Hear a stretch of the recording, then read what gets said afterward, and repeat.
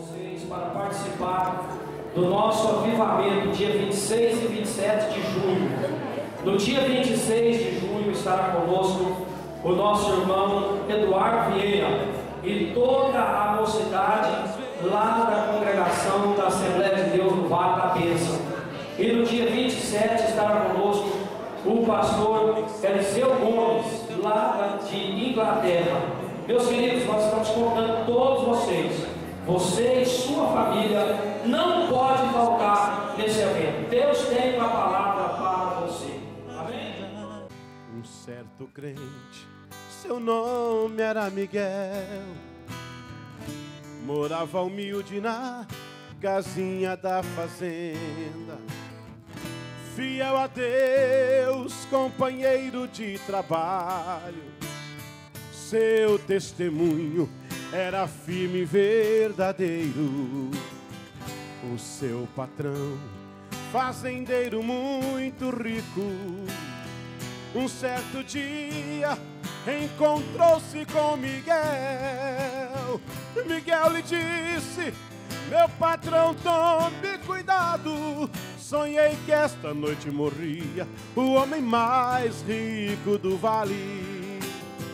O fazendeiro meia volta, chegou no casarão e ficou preocupado. Ele sabia quem era o Miguel, um crente fiel que conhecia Deus. O fazendeiro chamou vários doutores, ficou deitado só para ver o tempo passar.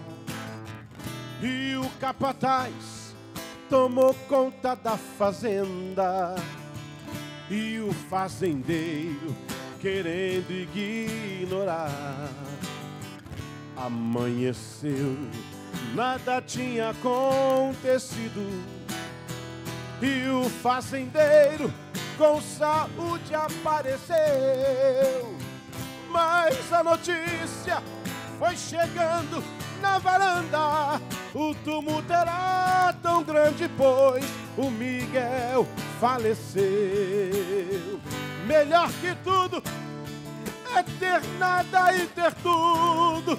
Você pode não ter nada, mas tem tudo com Jesus. E o fazendeiro pensou que era rico, mas Miquel era mais rico, pois estava com Jesus. Melhor que tudo, pode não ter nada, mas tem tudo com Jesus. E o fazendeiro pensou que era rico, mas Miguel era o mais rico. Pois estava com Jesus.